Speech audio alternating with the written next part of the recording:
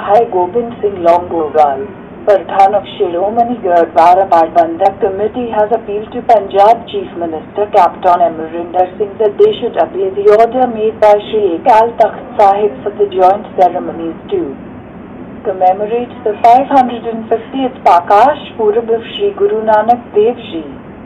He also said that the Shiromani Committee should not be ordered by the Punjab government how should the 550th Parkash Purab be celebrated.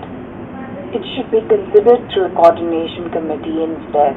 Bhai Longowal said that according to the latest orders of Sri Akal Takht Sahib, the coordination committee has been reassembled at Sri Amritsar on September 17th, and the Chief Minister is serious about sending representatives in this.